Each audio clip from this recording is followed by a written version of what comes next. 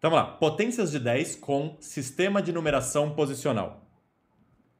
Qual é a ideia disso daqui, gente? Olha só, amanhã, uma das coisas que vocês vão ver é notação científica. E em notação científica, a gente vai pegar números como esse daqui, ó, 2, 3, 5, 7, 9, e vai escrever como 2,3579 vezes uma potência de 10. Então eu quero que vocês entendam o seguinte.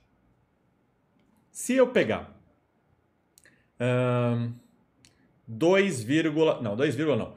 2,2,33903, por exemplo.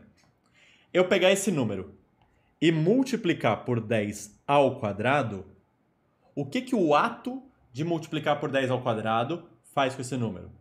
Faz com que a vírgula se desloque duas casas para a direita, fazendo com que obtenha 2, 5, 2, 3, 3 e aí a vírgula 903. Se eu pegasse esse mesmo número aqui e multiplicasse por 10 ao cubo, isso faria com que a vírgula andasse três casas para a direita Sempre que eu falo casa, eu estou pensando entre os números, ó. Tá, a vírgula está aqui entre o 2 e o 3. Uma casa entre o 3 e o 3, outra entre o 3 e o 9, outra entre o 9 e o 0.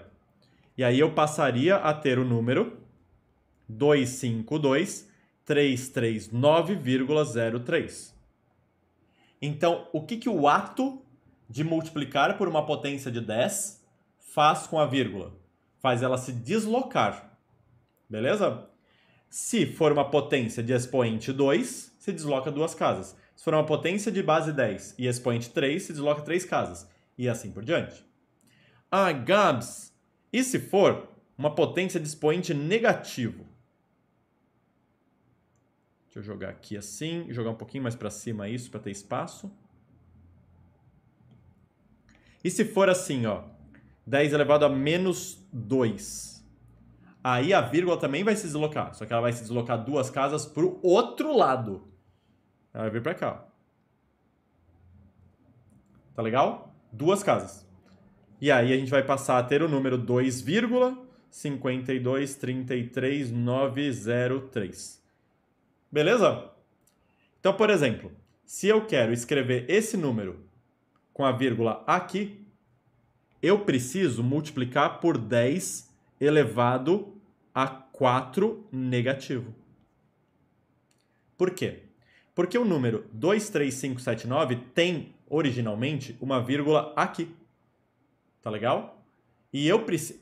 4 negativo não, desculpa, 4 positivo. Olha eu falando besteira. E eu precisaria fazer essa vírgula andar para cá. Ai, Gabs, agora eu fiquei confuso, porque a vírgula andou para a esquerda e você colocou mais 4. Só que eu coloquei mais 4 nesse cara, né? Não nesse. Tudo bem? É muito confuso mesmo esse negócio de pensar em vírgula anda para esquerda ou vírgula anda para direita.